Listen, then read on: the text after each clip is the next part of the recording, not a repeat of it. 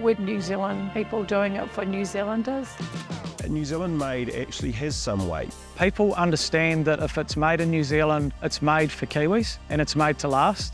We've got some amazing ingredients that have been grown in New Zealand. They know that they're actually having a product where they know where the provenance of at least comes from and that they have this incredible value. There may be a price difference, but price difference supports your community. Because it is job creation, it's employing people locally. It's about being true to who we are personally, embracing sort of what's around us. We've chosen to do things in what might look like a hard way, but it turns out easier in the end.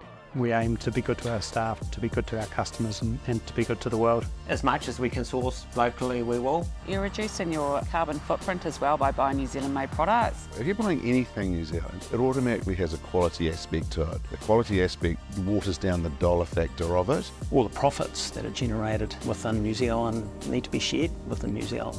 New Zealand's one big family. There's so many good things that comes from manufacturing in New Zealand because that's what workplaces are. They're part of a community.